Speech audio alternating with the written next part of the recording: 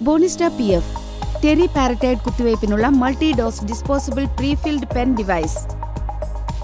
നിങ്ങൾ കുത്തിവയ്ക്കുന്നതിന് മുൻപായി മരുന്ന് കാലാവധി കഴിഞ്ഞതല്ലെന്ന് ഉറപ്പാക്കാൻ കാലഹരണ തീയതി പരിശോധിക്കുക.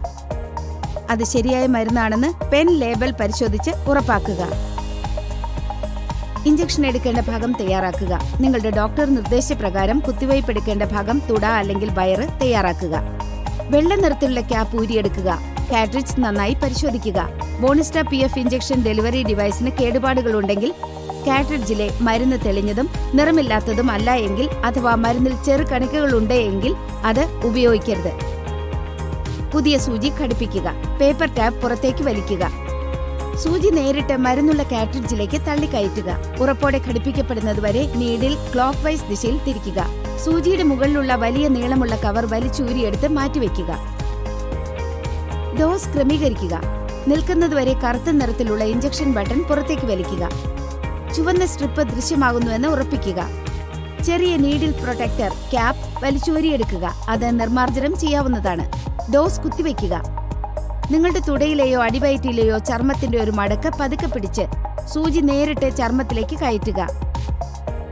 നിൽക്കുന്നതുവരെ ബ്ലാക്ക് ഇഞ്ചക്ഷൻ ബട്ടൺ അമർത്തി തള്ളുക. ശേഷം അഞ്ച് നിമിഷം അതുപോലെ പിടിക്കുക. ശരിയായ ഡോസ് ലഭിക്കാൻ നിങ്ങൾ അഞ്ച് സെക്കൻഡ് നേരം കാത്തു നിൽക്കേണ്ടതാണ്. ചർമ്മത്തിൽ നിന്ന് സൂചി ഊരിയെടുക്കുക. ഡോസ് സ്ഥിരീകരിക്കുക. സൂചി ചർമ്മത്തിൽ നിന്നും മാറ്റിയതിനു ശേഷം കറുത്ത നിറത്തിലുള്ള ഇഞ്ചക്ഷൻ ബട്ടണിൽ നിന്ന് നിങ്ങളുടെ തള്ളവിരൽ എടുക്കുക. കറുത്ത ഇഞ്ചക്ഷൻ ബട്ടൺ മുഴുവനായി ഉള്ളിലേക്ക് എത്തിയിട്ടില്ല എന്ന് പരിശോധിച്ച് ഉറപ്പുവരുത്തുക. മഞ്ഞ ഷാഫ്റ്റ് കാണുന്നില്ലെങ്കിൽ നിങ്ങൾ ഇഞ്ചക്ഷന്റെ എല്ലാ ഘട്ടങ്ങളും പൂർത്തിയാക്കിയിരിക്കുന്നുവെന്ന് പറയാം. മഞ്ഞ ഷാഫ്റ്റ് ദൃശ്യമാണെങ്കിൽ നിർദ്ദേശ മാനുവലിൽ ട്രബിൾ ഷൂട്ടിംഗ് വിഭാഗം ചെയ്യുക. സൂചി നീക്കം ചെയ്യുക. സൂചിയുടെ വലിയ കവർ ഇടുക. പൊതിഞ്ഞതിനു ശേഷം സൂചി ആന്റി ക്ലോക്ക് വൈസ് ദിശയിൽ തിരിച്ച് മുഴുവനായും അഴിച്ചെടുക്കുക സൂചി ഊരിയെടുത്ത് സുരക്ഷിതമായി അത് ഉപേക്ഷിക്കാം. വെള്ള ക്യാപ്പ് തിരികെ ഇടുക.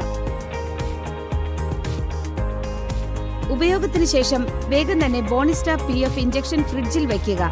ഫ്രീസ് ചെയ്യരുത്.